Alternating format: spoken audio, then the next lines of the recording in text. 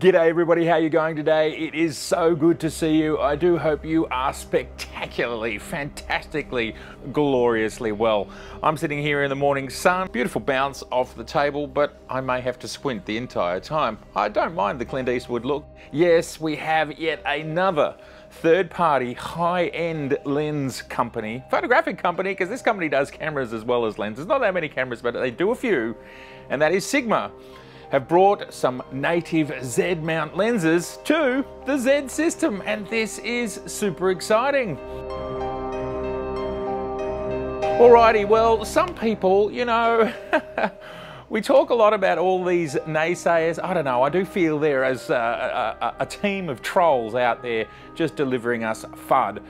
And one of those ongoing themes that, and I still hear it, and I still hear it, and I kind of think to myself, how can you even hold a straight face when you sort of decide to type or say these words that the Nikon Z lens ecosystem is not very good. Not only are the Nikon native Z lenses, and I think we're probably up to 33, 34, 35, We've got these astonishing trinity of 2.8 zooms. We've got glorious 1.8 primes.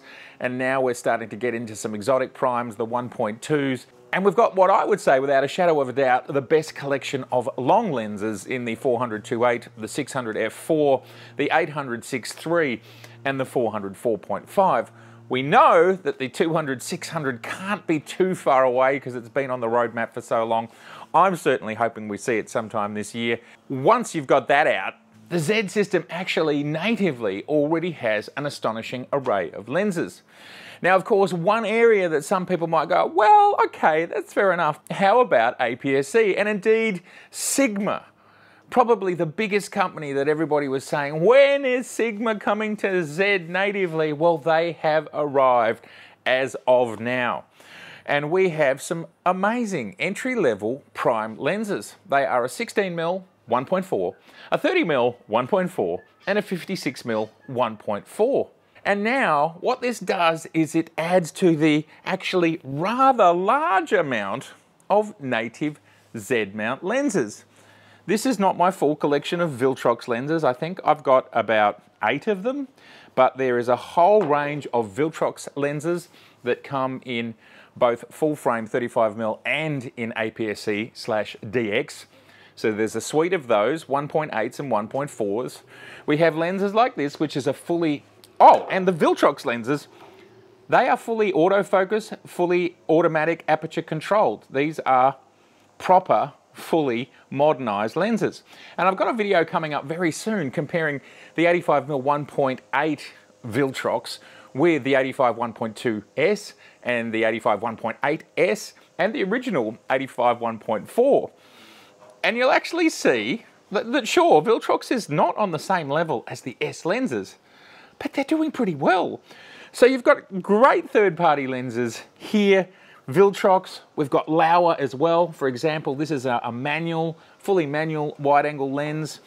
And we've even got Pergear. And I made a video about this lens, which you can check out up here. It's a great little lens, native Z mount. Voigtlander makes lenses, and there are so many more. So if anyone sort of sidles up to you at Camera Club or I don't know, when you're just out taking some shots and they go, geez, oh, that, that Nikon ecosystem, it doesn't really have a lot of third-party lenses. Uh, well, that is completely not true, and it's just become even more not true if you could even have such a concept when something's binary. It either is or isn't, but I'm trying to make a point here.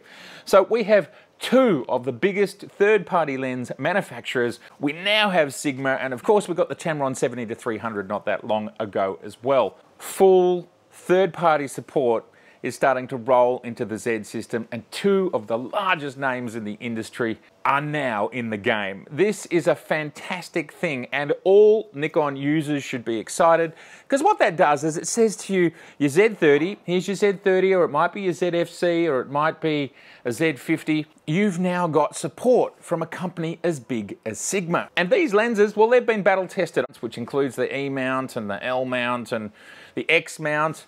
I think I'm missing one. Uh, oh yes, the uh, EF mount, and now we have them on the Z mount. Now, sure, are these lenses the latest lenses in Sigma's range? No, but they're great lenses. From everything I read, they're great lenses. And of course, if and when Sigma update them, I'm sure that'll flow through to the Z at some point in time as well. There is a huge amount of third-party lenses out there now. When you take into account Sigma, Tamron, and Viltrox, and they've all got access to the electronic protocols one way or another. I don't, I don't know whether Viltrox are licensed or not, but they're doing it. These lenses work. As I said, I've got, I, I don't know, six or seven or eight of them, and I've tested all of them, and they are great lenses considering the price point. Not the same as Nikon's native glass, but very, very close. So worth considering. I mean, the, the, the places where they differentiate is things like, is the weather sealing there or is the weather sealing as good? And that's how they're making them more affordable. And that might be fine for you. You might always shoot indoors or you just don't like being out in the rain. That's fine. And then you have great lenses like the Pergear and the Laowa and plenty of other lenses and all the other third-party lenses. And then the final thing that I don't want everyone to forget, which is so easy to forget, is adapted lenses. And because the Z mount is the largest and the shortest, it means that we have the most capacity to adapt lenses. Yes, it does. So for example, I have very successfully used the Sony lenses with the Megadap E to Z adapter. I was lent the brand new 70 to 200 by my friend Bruce. He had to go on a birding trip, so he had to take the lens. I didn't finish the video, but that lens is coming back, and we're going to get that back on Z cameras, Z6 II and on the Z9, and we're going to show it off how well it works. So adapted lenses, and I know it's not the perfect solution. I know not everybody loves it, but it does. If there's a lens you need, and obviously this comes down to need because we've got such a massive native ecosystem. So if there's something that you need that doesn't exist, well, I think you're going to go adapt it if you need it. For example, tilt shift lenses. The only way we can get a tilt shift lens on a Z camera at the moment is to use the F to Z adapter and to use F mount lenses. That's fine. If you need it, you can do it.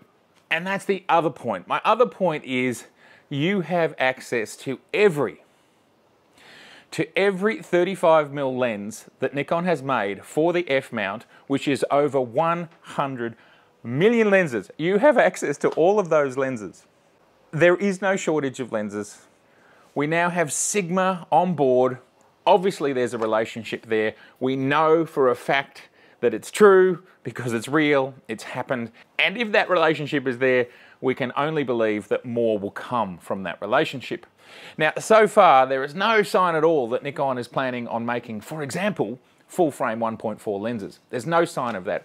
We've got these extraordinary 1.8s and we've got these extraordinary 1.2s. And that's a great system. It, it actually satiates everybody. But if you feel like you need a 1.4, well, there's a great opportunity for Sigma or anybody else to come along with their fantastic full frame 1.4 lenses and create them. Sigma's in the game. This is a fantastic sign for Nikon. And if you are still out there hearing people talking about a lack of lenses, a lack of third-party support, or a lacking in the entire lens ecosystem. It is simply incorrect. It is simply not true. There are so many options at this point in time. Now, to the best of my understanding, we don't know pricing exactly at the time of me recording, but I can only imagine that they will be something similar to what they exist for in the other mounts. It wouldn't make too much sense to put too much of a premium on them but who knows. So pricing, I think, will be commensurate with the same lens in other mounts because it is the same lens. And, well, we'll see if that comes to pass or not. Of course, these are Sigma's contemporary line of lenses, which are well regarded to the best of my understanding. I've never personally used them myself, but anecdotally, I believe that is the case. All right, well, do let me know in the comments below, will you be getting any or all of these lenses for your Nikon APS-C mount cameras, the ZFC, the Z30, or the Z50? Let me know in the comments below. It's your turn to interact. I'd love to hear from you. Absolutely fantastic. It's been so good to see you. And if this is your first time here, I would love to see you again. So please do subscribe. Please share this video. Get the love out there. It really helps the channel. And please like. That's fantastic as well. All right. Happy shooting. I'll see you soon. Bye for now.